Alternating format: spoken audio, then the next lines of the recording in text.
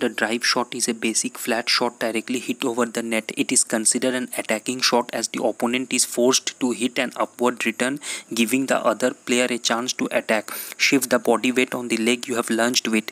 Rotate the upper arm backward for backswing. Your wrist is locked and facing up during backswing. Unlock it right before hitting the shuttle to generate power. Lunge forward with your dominant leg. Take the racket back, rotate the shoulder forward and bring elbow upward and forward. The power is generated by rotating of the forearm. You should hit the shuttle in front of your body. This shot brings your opponent forward and create a space backward behind for next shot.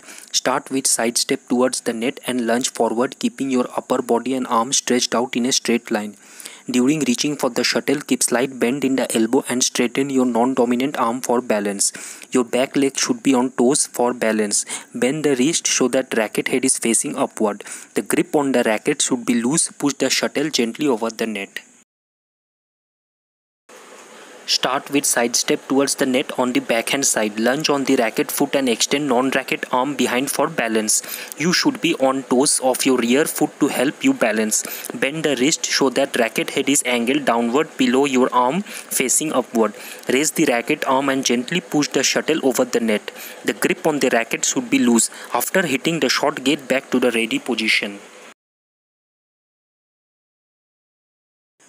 It's a defensive shot hit from your baseline to your opponent's baseline. Raise your racket arm and non-racket arm. Your body should face sideways with your feet pointing slightly sideways. Bend your racket foot lower than your non-racket foot. As you swing your racket forward, use your racket foot to push your body weight forward. Hit the shuttle at the highest point possible. Straighten your knees as you hit the shuttle at the highest point. Complete a full arm swing. Shuffle your racket foot forward as you swing your racket forward. After hitting your stroke, your body should face forward. Underarm clears a defensive shot. Make sure you position your racket in front of you. Hit the shuttle when it's in front of you. The grip on your racket should be loose. As you hit the shuttle, bend your knees. Get the elbow out and away from the body. Rotate your body sideways and do lunges on legs. Hit the shuttle a bit behind your body. Extend the arms and tighten up the grip at impact. Use your elbow and forearm movement to generate power. As you hit the shot, rotate your upper body.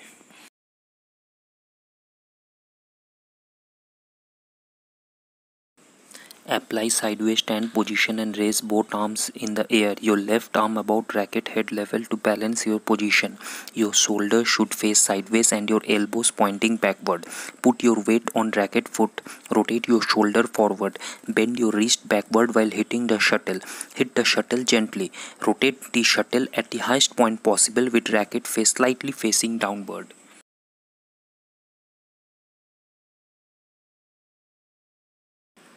A jump smash is a smash performed in mid-air. Your body should face sideways and your feet should also point towards the side of the court. Stretch out your racket arm as far back as possible. At the same time, raise your non-racket arm to counter the weight of your racket arm. Jump your racket foot to push your body up into the air. You should start the swing of your racket at the peak of your jump. After you hit the shuttle, follow through with your swing. A badminton net kill means hitting the shuttle at the net area downwards to your opponent's court. Lunge with racket foot forward. Extend your shoulder and arms towards the net and have bent elbow and wrist during playing the shot. Rotate the forearm forward on forward swing. Tap the shuttle downwards during swing of racket. Your racket motion is short and do not swing it large.